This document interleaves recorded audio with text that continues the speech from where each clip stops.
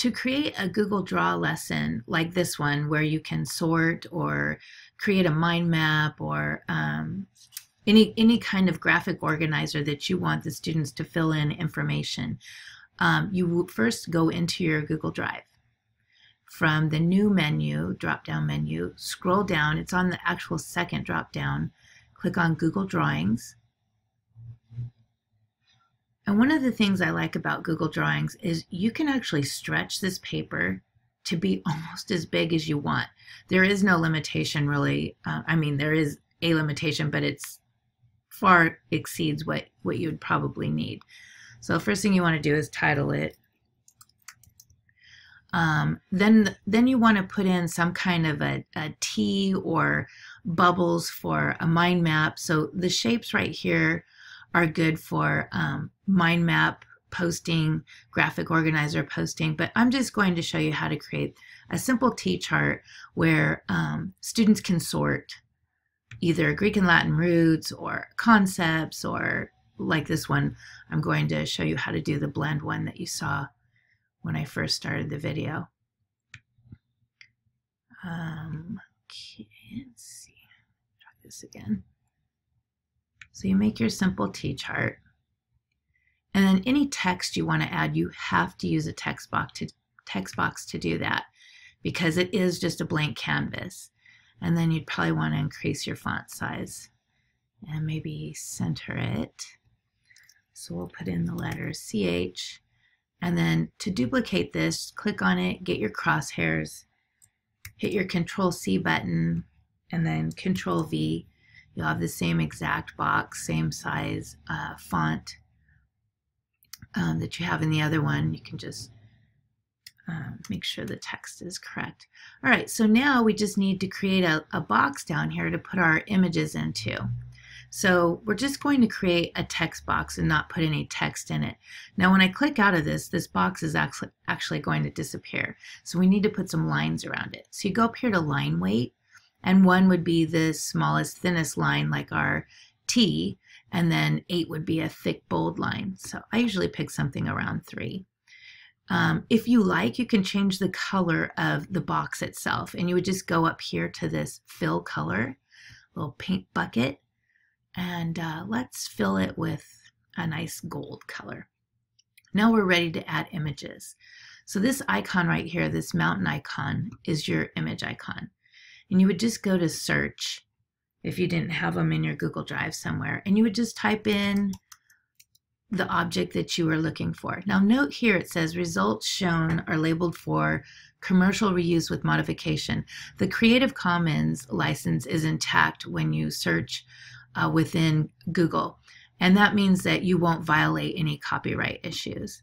So you click on the object and then you click select. And when it imports it, it's going to be rather large. So grab that corner and let's make it small and then drag it into the box. You see this red line right there? That will show you when it's centered in the box. Let's grab another image.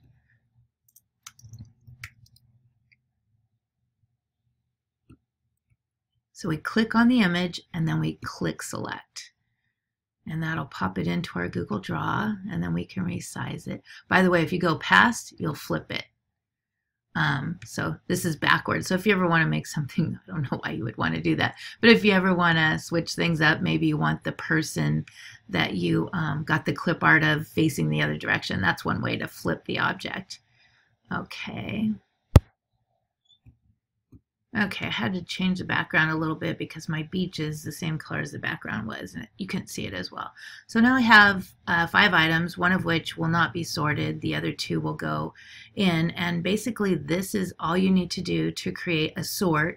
Not much more than this to create um, a mind map where you would put probably a circle or a rectangle in the center with the main idea, and then uh, branch out, and the students would be able to add to the mind map to get this on your Google Classroom, you want to go to your Google Classroom. If you don't have the tab open, just open a tab and open your Google Classroom. And you'll make this an assignment. So you'll go over to the plus, go up to assignment, title the assignment, include instructions if you like.